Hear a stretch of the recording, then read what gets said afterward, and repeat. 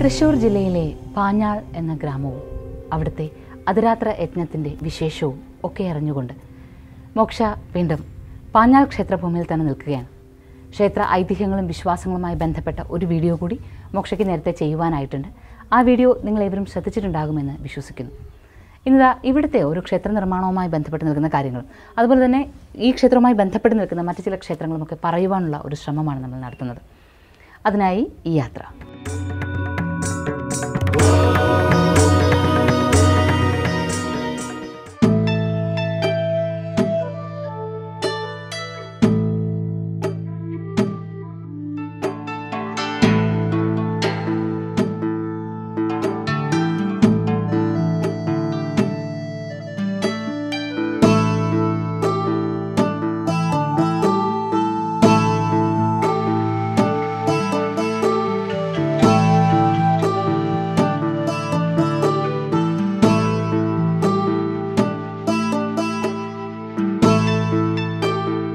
പാഞ്ഞാൾ ഗ്രാമത്തിലേക്ക് നാൽപ്പതോളം ബ്രാഹ്മണർ വന്നതിനെക്കുറിച്ചുള്ള ഐതിഹ്യങ്ങൾ പലതാണ്. പല ദേശങ്ങളിൽ നിന്ന് പലായനം ചെയ്തു വന്നു എന്നുള്ളതിനാണ് യഥാർത്ഥത്തിൽ നമ്മൾ മനസ്സിലാക്കേണ്ടത്. പെരുവനത്ത് നിന്ന് വന്നു എന്ന് പറയപ്പെടുന്നുണ്ടെങ്കിലും യഥാർത്ഥത്തിൽ പൂനെക്ക് അരികിലുള്ള പാഞ്ചാലം എന്ന ദേശത്ത് നിന്നും അതുപോലെ തന്നെ പുഷ്കരം എന്ന ദേശത്ത് നിന്നും വന്നവരാണ് ഈ ബ്രാഹ്മണർ. ജൈമിനീയ സമ്പ്രദായങ്ങളും അതുപോലെ കൗശികീയ സമ്പ്രദായങ്ങളും ഒക്കെ പിന്തുടർന്ന് വന്നിരുന്ന ഒരു പ്രത്യേകമായ വിഭാഗം ബ്രാഹ്മണരായിരുന്നു അവിടെ നിന്ന് വന്നത്. ജൈമിനീയ സമ്പ്രദായം എന്നാൽ ജമിനി മുനിയുമായി ബന്ധപ്പെട്ട് നിൽക്കുന്നു എന്ന് മനസ്സിലാക്കാം. ജമിനി മുനി വേദവ്യാസന്റെ ശിഷ്യനാണ് പരാശര മുനിയുടെ പുത്രനും. പൂർവ മീമാംസാ സൂത്രങ്ങൾ വിരചിച്ചത് അതായത് കർമ്മ മീമാംസ എന്നറിയപ്പെട്ടിരുന്ന ആ സൂത്രങ്ങൾ വിരചിച്ചതും അതുപോലെ തന്നെ സമ്പ്രദായങ്ങളിൽ ആത്മനെ അറിയുവാനുള്ള തത്വങ്ങളിലേക്കുള്ള അന്വേഷണം അറിവിലേക്കുള്ള അന്വേഷണമൊക്കെ നടത്തിയതുമൊക്കെ ഈ ഒരു മുനിയാണ് എന്നാണ് വിശ്വസിക്കപ്പെടുന്നത്. ഈ മുനിയുടേതായി തന്നെ നമുക്ക് പലതരത്തിലുള്ള ആഖ്യാനങ്ങളും വ്യാഖ്യാനങ്ങളും മനസ്സിലാക്കുവാനാകും. വേദവ്യാസന്റെ ശിഷ്യനാണ് എന്നുള്ളതാണ് പ്രധാനമായി മനസ്സിലാക്കേണ്ടത്. വേദവ്യാസൻ വേദങ്ങളെ നാലായി വിഭജിച്ചപ്പോൾ അതിൽ സാമവേദം ഉപദേശിച്ചു കൊടുത്തത് ജൈമിനി മുനിക്കാണ്. ജൈമിനി മുനിയുടെ ശിഷ്യന്മാരാണ് ജൈമിനിയർ എന്നറിയപ്പെടുന്നത്. ഈ മുനിയെക്കുറിച്ചുള്ള ഒരു പരാമർശമുള്ളത് മാർക്കണ്ഡേയ പുരാണത്തിലാണ്. മാർക്കണ്ഡേയ പുരാണം ആരംഭിക്കുന്നത് തന്നെ ജമിനി മുനിയും അതുപോലെ മാർക്കണ്ഡേയനുമായിട്ടുള്ള സംഭാഷണത്തിലൂടെയാണ്. അപ്പോൾ അത്തരത്തിലുള്ള ആ ഒരു മുനിയുടെ സാമവേദത്തെ വേദവ്യാസനിൽ നിന്ന് സാമവേദം ഉപദേശിച്ച് കിട്ടിയ ജമിനി മുനിയുടെ ശിഷ്യന്മാരാണ് ഇവിടേക്ക് വന്ന ബ്രാഹ്മണർ എന്നാണ് നമ്മൾ മനസ്സിലാക്കേണ്ടത്. അങ്ങനെയുള്ള ബ്രാഹ്മണർ ഇന്നും സാമവേദവും യജുർവേദവും ഇവിടെ സാമവേദമാണ് കൂടുതലും പാഞ്ഞാൽ ക്ഷേത്രവുമായി ബന്ധപ്പെട്ട് നമുക്ക് പറയാനുള്ളത്. സാമവേദം വേദത്തിൽ അധിഷ്ഠിതമായ അർച്ചനകളും പൂജകളും മന്ത്രാർച്ചനകളും ഒക്കെ നടത്തുന്നു എന്നുള്ളതാണ് നമ്മൾ മനസ്സിലാക്കേണ്ടത്. അതാണ് പാഞ്ഞാൽ ലക്ഷ്മി നാരായണ ക്ഷേത്രം. ലക്ഷ്മി നാരായണ ക്ഷേത്രത്തിൽ നാരായണൻ വേദത്തിന്റെ അധിപനായി വിശ്വസിക്കുന്നതും ഇതുകൊണ്ടാണ്. അപ്പോൾ അങ്ങനെയുള്ളൊരു ക്ഷേത്രത്തിന്റെ കാഴ്ചകൾ കാണുമ്പോൾ ഈ ക്ഷേത്രം നിലനിൽക്കുന്ന ഭൂമിയെ നമ്മൾ വ്യക്തമായി കാണേണ്ടതുണ്ട്. മുൻവശത്തായി കാണുന്നത് ഒരു പാടം വിശാലമായ പാടം. അത് ഇടയ്ക്കിടയ്ക്ക് യാഗഭൂമിയായി മാറുന്നുവെന്ന് മനസ്സിലാക്കാം അതിഗംഭീരമായ പല കുളങ്ങളാണ് ഇവിടെയുള്ളത്. അത് കഴിഞ്ഞാൽ പിന്നീട് ഇതുപോലെ ജലാശയങ്ങൾ ഉള്ളതിനെ പോലെ തന്നെ തടിയിൽ തീർത്ത വിസ്മയങ്ങൾ ഏറെയാണ്. ശ്രീകോവിൽ വട്ടത്തിലാണ് നമ്മൾ കണ്ടു. അതുപോലെ തന്നെ അതിൽ ചുവർ ചിത്രങ്ങളും അതുപോലെ ദാരുശില്പങ്ങളും ധാരാളമുണ്ട്.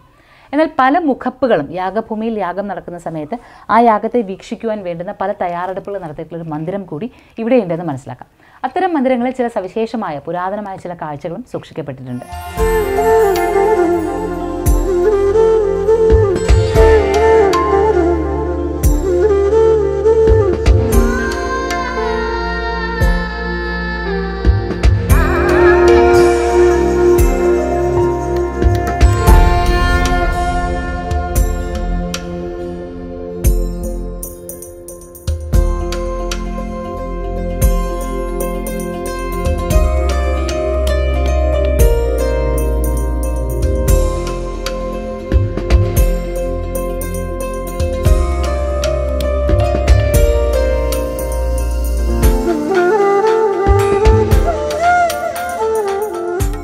പാഞ്ഞാളിന്റെ ഗ്രാമഭംഗി നമുക്കായി മറ്റു ചില കാഴ്ചകൾ കൂടി കരുതിയിട്ടുണ്ട്. നമ്മളിപ്പോൾ നിൽക്കുന്നത് പാഞ്ഞാൽ ലക്ഷ്മി നാരായണ ക്ഷേത്രത്തിൽ നിന്ന് കഷ്ടിച്ച് കുറച്ചു മാത്രം ഒരു കഷ്ടിച്ചൊരു കിലോമീറ്റർ അകലെയായിട്ടാണ്. ഇവിടെയും പാഞ്ഞാൾ ആ ഒരു ക്ഷേത്രത്തിന്റെ കീഴടമായ ചില ക്ഷേത്രങ്ങളുണ്ട്. പടർന്നു നിൽക്കുന്ന ഒരു അല അരയാലും അതുപോലെ തന്നെ പാടത്തിന് മധ്യത്തെയുള്ള വഴിയിലൂടേക്കുമൊക്കെയാണ് നമ്മൾ വരുന്നത്. ഒരു വശത്തായി കൈത്തോടുകളിൽ നിന്ന് ജലമൊഴുകുന്ന ശബ്ദം ഇങ്ങനെ കേട്ടുകൊണ്ടേയിരിക്കാം. അതൊരു പ്രാർത്ഥനാ മന്ത്രം പോലെ ശ്രവിച്ചുകൊണ്ട് വലിയൊരു അരയാലും ചുവട്ടിൽ നിൽക്കുമ്പോൾ എന്തൊരു സൗഭാഗ്യമാണ് ഈ ഗ്രാമവാസികൾക്കുള്ളത് എന്ന് മനസ്സിലാക്കുകയാണ് എവിടേക്ക് നോക്കിയാലും പച്ചപ്പും അതുപോലെ കുളത്തിന്റെ കാഴ്ചകളും ഉയർന്നു നിൽക്കുന്ന തലയെടുത്ത് നിൽക്കുന്ന മരങ്ങളും കാവിലെ കാവിലൊക്കെ ഉള്ളതുപോലുള്ള മരങ്ങളുമൊക്കെയാണ് ധാരാളമായി ഉണ്ട് ഉള്ളത്. അതിലെ ഒപ്പമാണ് ഒരു അരയാലും അരയാലിന്റെ ഇരുവശങ്ങളിലുമായി കൽവിളക്കുകളുമൊക്കെ ഉള്ളത്. അത് കഴിഞ്ഞ് മുന്നോട്ട് നടക്കുമ്പോൾ നമുക്ക് ഒരു ചെറിയ ശ്രീകോവിൽ കാണാം. നമ്മൾ പറഞ്ഞല്ലോ പാഞ്ചാലത്ത് നിന്നും പുഷ്കരത്തിൽ നിന്നുമാണ് ബ്രാഹ്മണർ ഇവിടേക്ക് പലായനം ചെയ്തു വന്നതെന്ന്.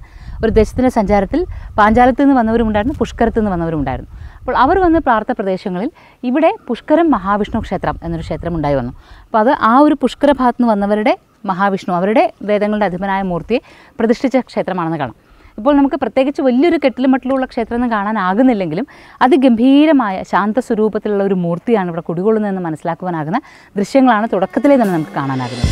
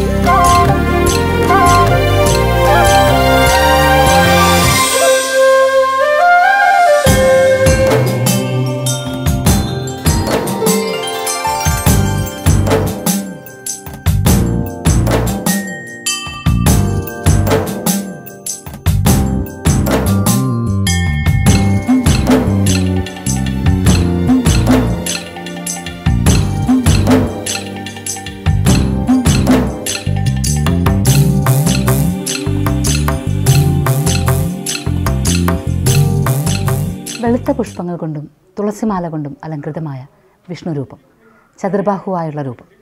ഇവിടുത്തെ ക്ഷേത്രങ്ങളുടെ ഒരു പ്രത്യേകത ഇവിടുത്തെ വാതിലുകൾ എപ്പോൾ അടച്ചാലും അഴികളുള്ള വാതിലുകളാണ്. അപ്പോൾ ഏത് സമയത്തും ഭക്തർക്ക് ഈശ്വരമൂർത്തികളുടെ ദർശന സൗഭാഗ്യം ലഭിക്കും. ഇവിടെ വിഷ്ണുവാണ് സാന്നിധ്യമെങ്കിലും പെട്ടെന്ന് നോക്കിയാൽ നമുക്കൊരു കൃഷ്ണന്റെ സമാനമായ രൂപമായി തോന്നും. അതിന് കാരണം വിഗ്രഹം അടുത്തേക്ക് നോക്കുമ്പോൾ വെള്ളി കൊണ്ടുള്ളൊരു കിരീടം ചാർത്തിയിട്ടുണ്ട്. എന്നാൽ അരയിൽ ഒരു വെള്ളി അരഞ്ഞാണമാണ് ഇട്ടിരിക്കുന്നത്. ഈ വെള്ളി അരഞ്ഞാണമിട്ട് ഒരു രൂപം മറ്റ് ഉടയാടകളൊന്നുമില്ല. കൃഷ്ണശില മാത്രമാണ് നമ്മൾ കാണുന്നത്. അപ്പോൾ കൃഷ്ണശിലയിൽ ആ രൂപം വിഗ്രഹപൂർണ രൂപമാണെങ്കിലും മറ്റുള്ള അലങ്കാരങ്ങളൊന്നുമില്ലാതെ ഈ വെള്ളി അരഞ്ഞാണം മാത്രം കാണുമ്പോൾ പെട്ടെന്ന് ഒരു കൃഷ്ണഭാവമാണ് മനസ്സിൽ നിറയുക വെട്ടുകല്ല് കൊണ്ട് തീർത്തിട്ടുള്ള ഒരു ശ്രീകോവിലാണ്. അതിന് പുറകിലായി ഒക്കത്ത് ഗണപതി സങ്കല്പത്തിൽ ഒരു ചെറിയ ഗണപതി ഭാവം ഇതൊരു ക്ഷേത്രമായിരുന്നു ഒരു കാലത്ത് എന്ന് വ്യക്തമാക്കുന്ന തരത്തിൽ ഗണപതി സാന്നിധ്യവും ഇവിടെയുണ്ട്. ഈ ഒരു ക്ഷേത്രം ഇതൊരു മഹാവിഷ്ണു ക്ഷേത്രമായ ലക്ഷ്മി നാരായണമൂർത്തി സാന്നിധ്യമാകുന്ന ക്ഷേത്രത്തെ നമ്മൾ കണ്ടു. അതുപോലെ തന്നെ ഈ ക്ഷേത്രവും അതിൽ പ്രധാനപ്പെട്ടതായിട്ട് നമുക്ക് മനസ്സിലാക്കിയെടുക്കാനാകും എന്നാൽ ഇതുപോലെ തന്നെ അകത്ത് തൊട്ടടുത്തായി നമുക്ക് ഒരു അയ്യപ്പ ക്ഷേത്രം കാണാം. വലിയൊരു വിശാലമായ കുളവും അതിനരികിലായി ഒരു അയ്യപ്പൻ കാവും കാണാം. ഈ അയ്യപ്പൻ കാവും പാഞ്ഞാളിന്റെ ഗ്രാമസൗന്ദര്യങ്ങളെ അറിയുവാനുള്ള ഒരു വലിയ മാർഗം തന്നെയാണ്.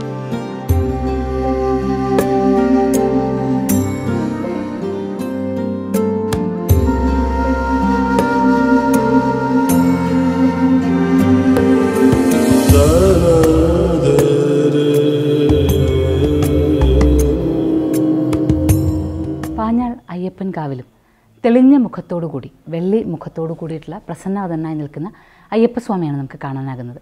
നേരെ മുന്നിലുള്ള ക്ഷേത്രക്കുളത്തിൽ നിന്ന് ക്ഷേത്രത്തിലേക്ക് കയറുവാനൊരു വാതിലുണ്ട്. ആ കവാടവും അവിടെ നമുക്ക് ആ ജലത്തിന്റെ സാന്നിധ്യവും ഒക്കെ കാണാം. വലിയ വിശാലമായ കുളവും അത് കുളത്തിലേക്ക് ദൃഷ്ടി എന്ന രീതിയിൽ അയ്യപ്പൻ ഇവിടെ സാന്നിധ്യമാകുന്നു എന്ന് നമ്മൾ മനസ്സിലാക്കുന്നത്. ഇനി ഈ ശ്രീകോവിലിൽ ഒന്ന് വലം വെച്ച് വരികയാണെങ്കിൽ ധാരാളം ചുവർ ചിത്രങ്ങൾ ഇവിടെ കാണാം. അതിലും കൃഷ്ണാംശമാണ് നിറഞ്ഞു നിൽക്കുന്നത് എന്നുള്ളത് കൊണ്ട് തന്നെ വിഷ്ണു ആരാധന പ്രധാനമായി ഉണ്ടായിരുന്ന ഒരു കൂട്ടം ആളുകളുടെ മൂർത്തി തന്നെയാണ് ഇവിടെ അയ്യപ്പൻ കാവിലും കുടികൊള്ളുന്നതെന്ന് മനസ്സിലാക്കാം. ഒരു പക്ഷേ ഒരു കാലത്ത് പരദേശി ബ്രാഹ്മണർ വന്നു കഴിഞ്ഞപ്പോൾ പാഞ്ഞാളിലേക്ക് വരുന്ന സമയത്ത് അന്ന് ഇവിടെ ഉണ്ടായിരുന്ന ആദ്യത്തെ സങ്കല്പം ഗോത്ര സംസ്കൃതിയുമായി ബന്ധപ്പെട്ട ആരാധനാ സമ്പ്രദായം. അതിലാണല്ലോ ഭഗവതി കാവുകളും അയ്യപ്പൻ കാവുകളും ഒക്കെ ഉള്ളത്. ഇവിടെ ഒരു ഘോര വനമായിരുന്നിരിക്കുകയും ഈ വനത്തിനുള്ളിൽ ഒരു കാവ് ഉണ്ടായിരുന്നിരിക്കുകയും ചെയ്തിരിക്കണം. അന്ന് അവിടെ ആരാധനയും ഉണ്ടായിരുന്നിരിക്കണം.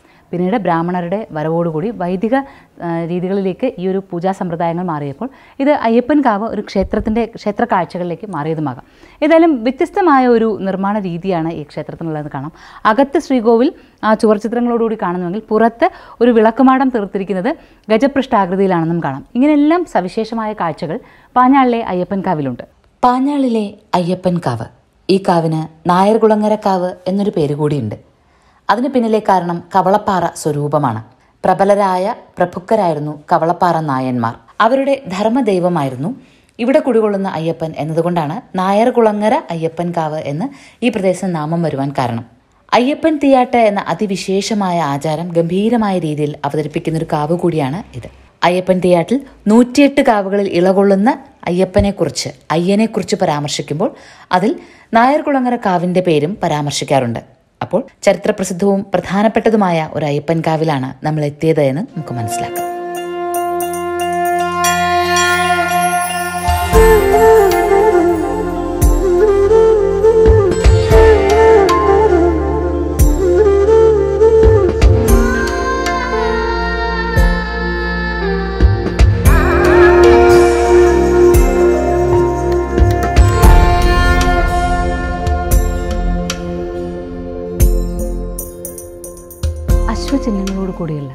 രണ്ട് വിളക്ക് തട്ടുകളുള്ള ക്ഷേത്രം. ഈ ക്ഷേത്രത്തിന്റെ ശ്രീകോവിൽ ഗജപൃഷ്ഠാകൃതിയിൽ തന്നെയാണ്. വിളക്കുമാടവും ഗജപൃഷ്ഠാകൃതിയിലാണ് അകത്തെ ശ്രീകോവിലിനും ആ ഗജപൃഷ്ഠാകൃതി തന്നെ കൽപ്പിച്ചിട്ടുണ്ട്. ഇതെല്ലാം പുരാതനമായ ചില സമ്പ്രദായങ്ങളെ സൂചിപ്പിക്കുന്നതിനോടൊപ്പം തന്നെ ആ ഒരു ഗജപൃഷ്ഠാകൃതി ഒരു ബുദ്ധ ക്ഷേത്രങ്ങളുടെ സ്വാധീനവും കാണിക്കുന്നുണ്ട്. അപ്പോൾ ഒരു കാലത്ത് ഇവിടെ ഉണ്ടായിരുന്ന ബുദ്ധ ജൈനമത സ്വാധീനങ്ങൾ കൂടി അയ്യപ്പൻ കാവ് നമുക്ക് പറഞ്ഞു തരുന്നുണ്ടോ എന്നുള്ളത് സംശയിക്കേണ്ടിയിരിക്കുന്നു. എന്നാൽ അതിനു മുൻപ് കാവുകൾക്കുള്ളിലുണ്ടായിരുന്ന ആരാധന അതായിരുന്നു കേരളത്തിലെ ഏറ്റവും പുരാതനമായ ആരാധനാ സമ്പ്രദായം. ആ ആരാധനാ സമ്പ്രദായങ്ങൾ അനുവർത്തിച്ചു പോന്നിരുന്നത് ഗോത്രവർഗക്കാരാണ്. അപ്പോൾ ആ ഗോത്രവർഗത്തിന്റെ ഒരു പാരമ്പര്യവും നമുക്ക് ഇവിടെ ചേരുന്നത് കാണാം. അതുകൊണ്ടാണ് ഇന്നൊരു ക്ഷേത്രമായി മാറിയിട്ടും അയ്യപ്പൻ കാവ് എന്ന് തന്നെ ഈ പ്രദേശത്തെ വിശേഷിപ്പിക്കുന്നത്. കാവിൽ കുടികൊള്ളുന്ന വനഭാവങ്ങളെ ഉണർത്തുന്ന തമ്പുരാനാണ് ശാസ്താവ് അഥവാ അയ്യപ്പൻ. ആ അയ്യപ്പൻ ആത്മധൈര്യം പകർന്നു തരുന്നു എന്ന് മനസ്സിലാക്കുമ്പോൾ പാഞ്ഞാളിന്റെ ഈ ഓരോ കാഴ്ചകളും ഗ്രാമക്കാഴ്ചകളും ക്ഷേത്രക്കുളങ്ങളും അതുപോലെ ലക്ഷ്മി നാരായണ മൂർത്തിയായാലും എല്ലാം തന്നെ നമുക്ക് പ്രത്യേകമായൊരു ഉണർവ് നൽകുന്നുണ്ട്. ഇതുപോലുള്ള ഗ്രാമങ്ങളിലൂടെ സഞ്ചരിക്കുവാൻ ഇനിയും അവസരമുണ്ടാകണമെന്ന പ്രാർത്ഥന മനസ്സിൽ നിറയുന്നു.